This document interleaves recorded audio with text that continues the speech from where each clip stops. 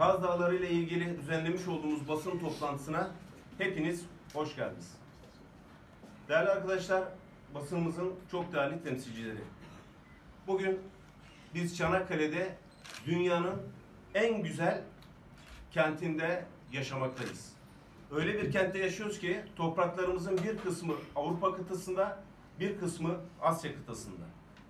Denizleriyle, boğazlarıyla, adalarıyla ve Kaz Dağları'yla eşsiz bir coğrafyada yer almaktadır.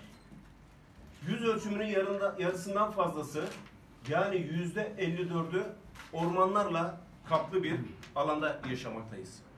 Bu özelliğiyle Türkiye'de orman varlığı en zengin olan iller arasındadır. Kaz Dağları dünyada bütünlüğü korunan en önemli orman alanlarından ve dağ ekosistemlerinden biridir. Biga Yarımadası'nın, Edremit Körfezi'nin, Gönen Ovası'nın en önemli su kaynaklarını beslemektedir. Mitolojide yer alan Binpınarlı İda'dır. Hem geçmiş hem de günümüzdeki durumuyla Troya'nın en önemli coğrafi, tarihsel ve kültürel, kültürel bilişenidir. Değerli arkadaşlar, basınımızın değerli temsilcileri. Hepinizin bildiği gibi Çanakkale önemli bir tarım, orman ve turizm kentidir. Çok yüksek bir sağlık ve ekoturizm potansiyelini barındırmaktadır. Nüfusunun halen yüzde elliye yakın bir bölümü doğrudan ya da dolaylı olarak tarımla ilgilidir ve geçimini tarımdan sağlamaktadır. Tarımda buğdaydan narenciyeye kadar ürün çeşitliliği açısından Türkiye'nin en zengin illerinden biridir Çanakkale. İşte böyle bir Çanakkale'de yaşıyoruz. Yani Tanrı'nın bizlere böyle bir kentte yaşamayı e, bahşettiği bir e, kentte, coğrafyada hep beraber yaşamaktayız. Bunun e, kıymetini hep beraber hepimiz çok iyi bilmekte zorundayız. Ürettiği tarımsal ürünlerle yani şeftalisiyle, tüysüz şeftalisi, lapseki kirazı, elması, narı, ayvası, bayram iç beyazı, e, pembe domatesi, zeytini, balı ve başta ezine peyniri olmak üzere süt ürünlerinde ve e, et ürünlerinde bölgenin en önemli e, e, ilidir. Dolayısıyla bu kente hepimiz sahip çıkmak zorundayız. Değerli arkadaşlar, Çanakkale değerleriyle böyleyken çok ciddi bir tehlikeyle bugün karşı karşıyadır. Çanakkale ilinin yörede çok ciddi sağlık, sosyoekonomik ve ekolojik çevresel sorun ve yıkımlara yol açacağı bilinen en önemli sorunlarından biri e, biri Kaz Dağları ve Biga Yarımadası'nda kurulan ve planlanan termik santralleri ile vahşi siyanürle liç etme yöntemi ile yapılan metalik altın ve gümüş madencilik faaliyet ve işletmeleridir. Kaz Dağları ve Biga Yarımadası'nın neredeyse tamamı, bakın değerli arkadaşlar, neredeyse tamamı madencilik şirketleri tarafından ruhsatlandırılmış durumdadır. Bunlardan biri Çanakkale'mizin tek içme ve kullanma suyu kaynağı olan ve tarımsal sulamada da kullanılan Atikhisar Barajı havzasında sürdürülen metalik madencilik faaliyetleri Çanakkale ili Kirazlı altın ve gümüş madeni kapasite artışı ile zenginleştirme projesidir. Söz konusu projenin ÇED olumlu kararını iptaline ilişkin Çanakkale Belediyesi ile Kaz Dağı ve Madra Dağı Belediyeler Birliği tarafından açılan dava Danıştay'dadır. Ve mahkeme süreci devam etmektedir.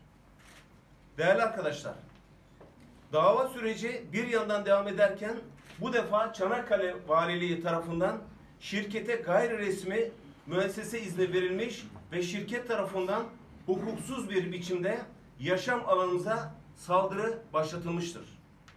Çanakkale'mizin tek içme ve kullanma suyu kaynağı olan Akhisar Barajı ve Çanakkale ve Çan havzalarını etkileyecek Çanakkale ilgili e, Kirazlı altın ve gümüş madeni kapasite artışı ve zenginleştirme projesinde toplam 26 ton cevher işlenecektir. Yani toplam 26 ton cevher işlenecektir.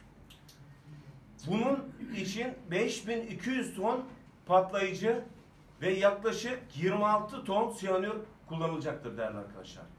Yani 26 ton cevher işlenecek, Milyon. 26 milyon. 26 milyon ton cevher işlenecek. Bunun için 5200 ton patlayıcı kullanılacak ve yaklaşık 26 bin ton siyanür kullanılacaktır arkadaşlar. Bunun sonucunda 4-40 bin ton zehirli ağır metal, arsenik, civa, bizmut, selenyum, kurşun açığa çıkacak, yeraltı ve yerüstü sularına karışacaktır. Su kaynaklarımız ve topraklarımız kirlenecektir. İşte bunun sonucunda az önce saydığım tarımsal ürünler bir daha bu topraklarda artık yetişemeyecektir. Bakın değerli arkadaşlar, Haziran ayı sonunda yapılan tespitlere göre 200 hektarın üzerinde yaklaşık 195 bin ağaç kesilmiş ve ulaşım yolları açılmıştır. ÇED raporunda ise kesilecek ağaç sayısı 45.650 olarak belirtilmiştir. Yani yaklaşık 5 kat daha fazla ağaç kesilmiştir. İşte en son Haziran ayında belirlenen, e, çekilen fotoğrafla ne hale geldiğini hepimiz çok daha iyi görmekteyiz.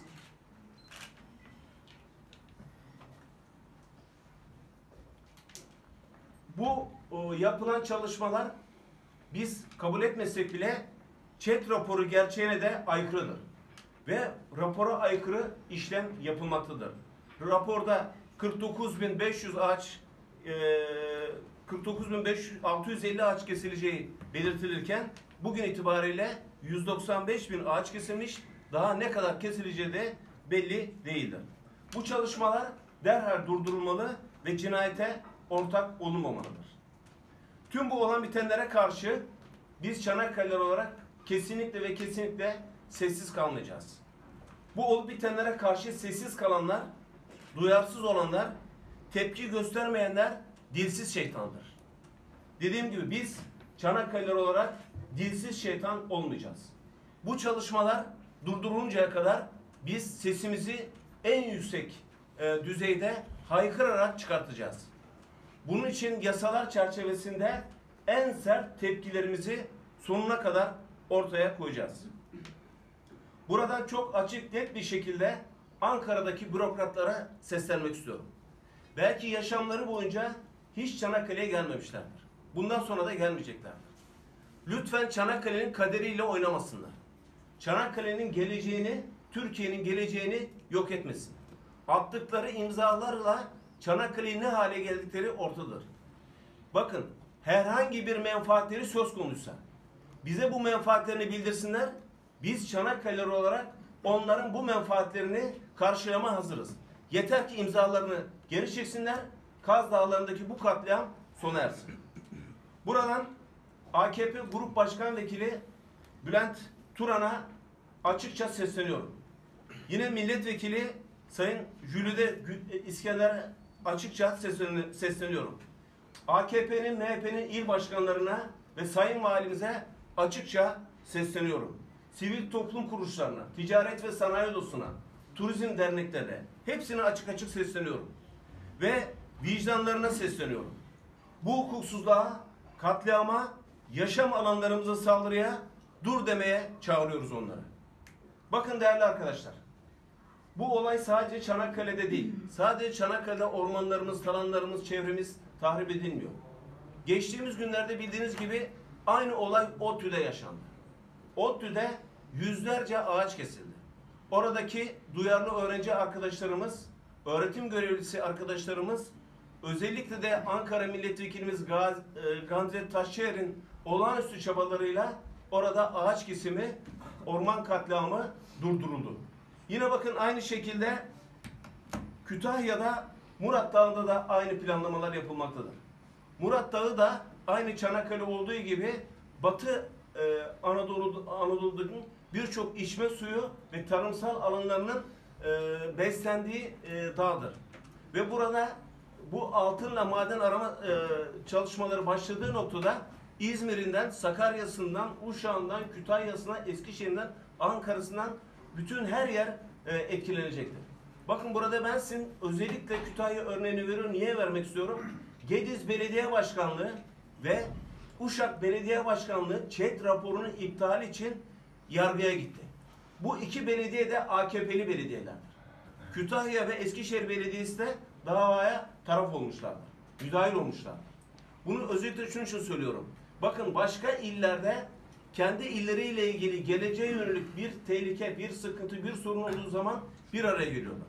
Şimdi biz aynı anlayışı, aynı davranışı AKP'li milletvekillerinden, il başkanlarından ve MHP'li e, il başkanı ve e, diğer yöneticilerinden beklemekteyiz. Bu Çanakkale'nin geleceğiyle ilgili bir konudur. Bu kesinlikle siyaset üstü bir olaydır. Bunu kesinlikle siyaset olarak algılamamak e, gerekir.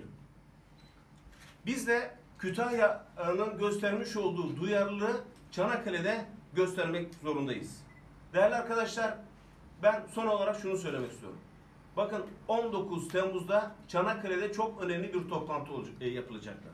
Bu toplantı Ege ve Marmara Belediyeler Birliği Temmuz ayı encümen toplantısı Çanakkale'de olacaktır. Olma gerekçesi Kaz Dağları'nda yaşanan bu vahşetin, bu katliamın sona erdirilmesi, Türkiye'nin buraya dikkatini çekmek için yapılan bir toplantı olacaktır. Bu toplantıda sonra e, ayın 19'unda saat 18.30'da İskele Meydanı'nda bir basın açıklaması yapılacaktır. Bu basın açıklamasına ben buradan tüm Çanakkale'li hemşerilerimizi davet ediyorum. Tüm Çanakkale'li hemşerilerimizin burada olması lazım. Aynı zamanda aynı zamanda AKP il başkanlığı, MHP il başkanlığı, tüm siyasi partilerin il başkanlarını orada görmek istiyorum. Dediğim gibi bu mesele Çanakkale meselesidir.